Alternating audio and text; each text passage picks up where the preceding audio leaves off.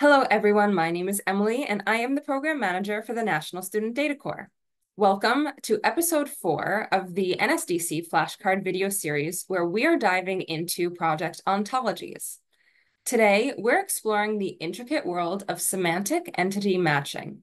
But first, let's define semantic. In the context of data and language, semantic refers to the meaning and interpretation of words and phrases in context. It's about understanding the deeper meanings and relationships beyond just the surface level words.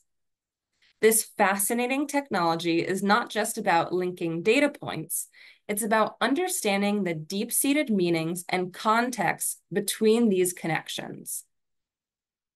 As we see in this animation, each point represents a piece of information, and the lines are the semantic relationships being drawn between them, which are far more profound than simple word matches.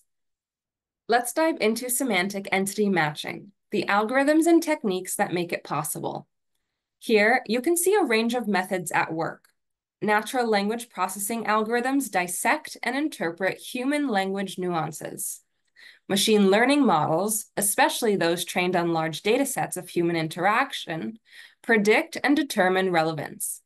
And advanced data mining techniques uncover hidden patterns and connections in large data sets. Each of these components works in harmony to decode the complex language of data. It begins by parsing the language, breaking down sentences into their constituent parts, and understanding their grammatical and syntactical roles.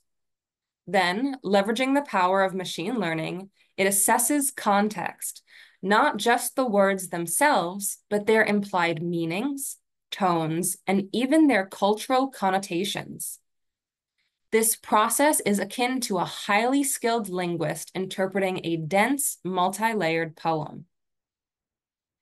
Moving to real-world applications, Think about how this technology is applied. In search engines, it's what helps differentiate a search for Apple, the technology company, and Apple, the fruit. In e-commerce, it's what allows systems to recommend products that truly resonate with your interests, not just based on superficial browsing history. And in customer service, it powers chatbots and virtual assistants that understand and respond to queries with unprecedented accuracy.